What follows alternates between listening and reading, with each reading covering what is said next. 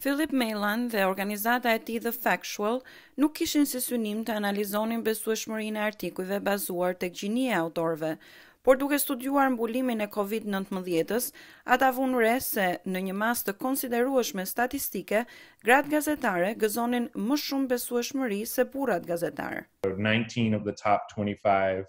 Nëntëmbëdhjetë nga njëzet e pesë gazetarët më të besueshëm janë femra dhe pesëdhjetë e tetë nga njëqind gazetarët më të besueshëm janë femra.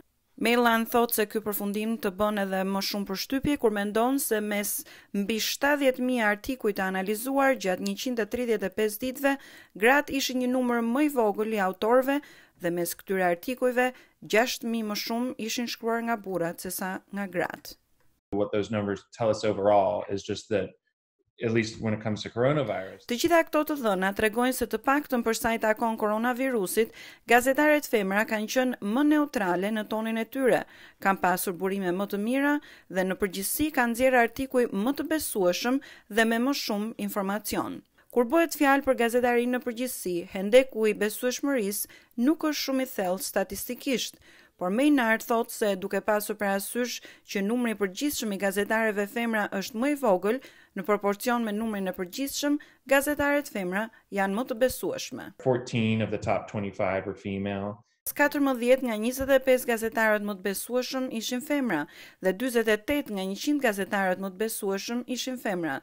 Meylan thotë se këto përfundime nuk janë një sugjerim se çfarë artikujsh duhet të lexojë audienca, por një mënyrë për të analizuar nëse cilësia e gazetarisë në përgjithësi po dëmtohet në kushtet kur gratë janë më pak të përfaqësuara megjithëse janë më të besueshme. if female journalists face challenges uh, and faced uh... Nëse gazetaret femra përballen me sfida, përballen me më shumë pengesa kur shkojnë të raportojnë për koronavirusin, për protestat e ditëve të fundit, si po ndikon kjo tek lajmet që prodhohen, por edhe çfarë historie në përgjithësi vjen tek ne. Për t'i vënë këto përfundime në kontekst, Philip Meylan dhe The Factual iu drejtuan ekspertes së çështjeve gjinore Lucina Di Meco. In so many fields, journalism, women's Në shumë fusha, si gazetaria, udhëheqja politike, gratë duhet të jenë të përgatitura dhe disa herë edhe më të përgatitura se ç'kërkohet për të mbajtur të njëjtat vende pune që mbajnë burrat, disa herë duke u paguar më pak se burrat. Di Meco thotë se për këtë arsye nuk është e befasuar që gratë janë veçanërisht të kujdesshme në mënyrën se si i trajtojnë çështje kaq jetike. and female journalists in particular. Dhe gazetaret femra në mënyrë të veçantë janë mjaft të kujdesshme në mënyrën se si e bëjnë punën e tyre. Dimeko e sheh këtë përfundim të fundit për besueshmërinë e gazetarëve në raportimin për koronavirusin në të njëjtën linjë me vlerësimet që kanë marrë gratë udhëheqëse në vende të ndryshme për luftën ndaj epidemisë. Women in politics. Gratë në politikë ka gjasa të jenë më të respektuara nga publiku. Ato shikohen si më të sinqerta.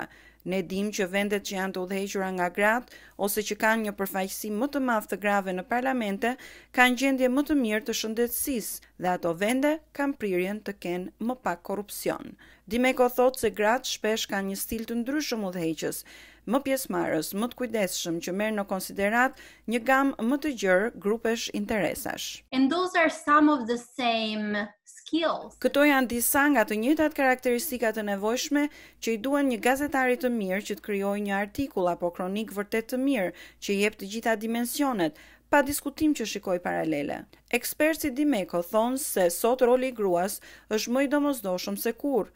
E megjithatë, thotë ajo, pikërisht në këtë kohë, grave po u mbytet zëri ose ngacmohen sa herë shkruajnë diçka në internet. And the treatment that female politicians receive. Trajtimi që marrin politikanet gra është shumë i ngjashëm me mënyrën se si trajtohen gazetaret gra dhe kjo ka të bëjë me faktin që ato janë figura publike.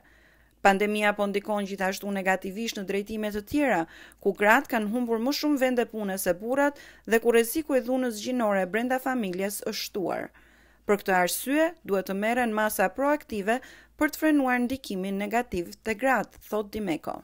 Policy makers have an important responsibility. Hartuesit e politikave kanë një përgjegjësi të madhe që të sigurojnë që çdo vendim që po merret për mënyrën e menaxhimit të pandemisë, si edhe për periudhën e mëpasme, përfshirë rimëkëmbjen ekonomike, të marrë parasysh nevojat e grave dhe vajzave, thotë Dimeko.